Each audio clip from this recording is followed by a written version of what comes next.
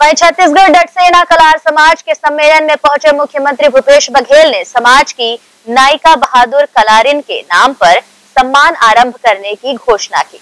उन्होंने कहा कि 1 नवंबर को राज्य स्थापना दिवस के अवसर पर आयोजित अलंकरण समारोह में यह सम्मान दिया जाएगा।